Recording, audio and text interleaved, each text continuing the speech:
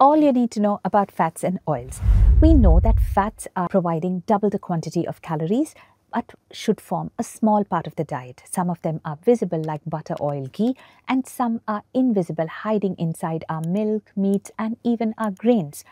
We need not more than 25% of our calories coming from fats and oils. What does that mean? Typically, a person should consume 0.5 liters per month. In other words, a family of four with two grown up kids should not consume more than 2 liters a month.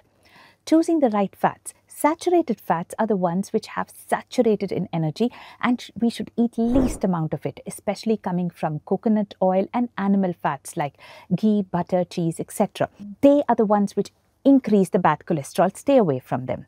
The unsaturated ones could be monounsaturated coming from olive oil, sesame oil, groundnut oil. They are much better. They improve insulin sensitivity and even reduce the chole bad cholesterol, especially when eaten with a low carb diet.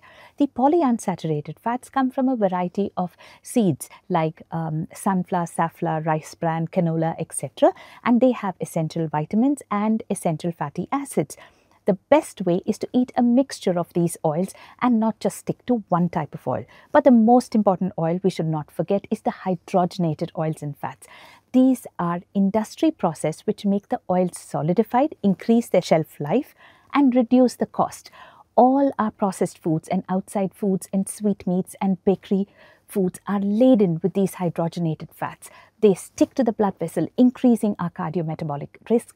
They come under the names of hydrogenated fats or trans fats. We need to stay away from them. So choose your fats right and be fat wise.